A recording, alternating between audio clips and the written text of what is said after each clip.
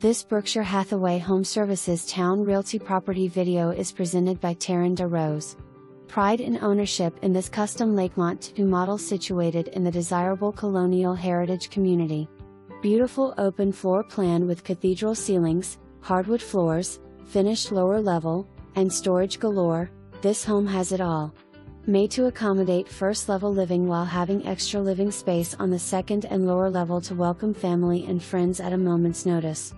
Upgrades include hardwood floors throughout main living area, stainless steel appliances, lower level wet bar and so much more to give you that true custom home feel. You cannot get any better with the outdoor living space than this, oversized patio with a lovely pond view that gives you peace, privacy and serenity all day long. You would be living the life of luxury at this home so do not let it get away. For more information,